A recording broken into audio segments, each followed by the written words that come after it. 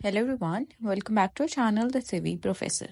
In this video, I'm going to walk you through how you can remove Instagram account from Meta Business Suite. If you no longer want your Instagram account in your Meta Business Suite, you can remove the account from your business assets settings in the Meta Business Suite.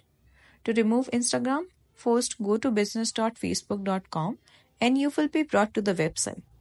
Just log in into your account if you haven't already and once you're logged in, you will be brought to the dashboard.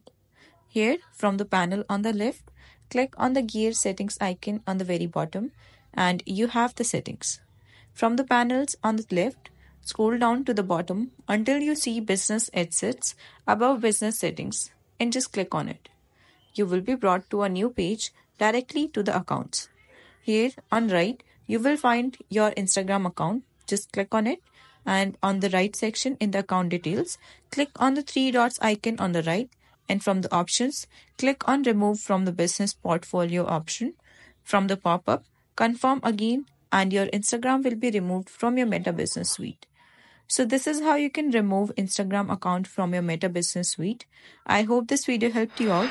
If it did, then don't forget to smash that like button and also subscribe to the channel.